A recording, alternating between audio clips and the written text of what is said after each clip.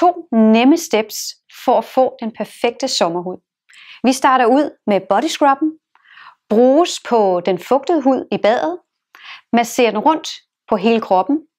Det her produkt går ind og eksfolierer, fjerner de døde hudceller, gør huden mere klar og mere frisk, og gør også, at det efterfølgende produkt trænger bedre ned i huden.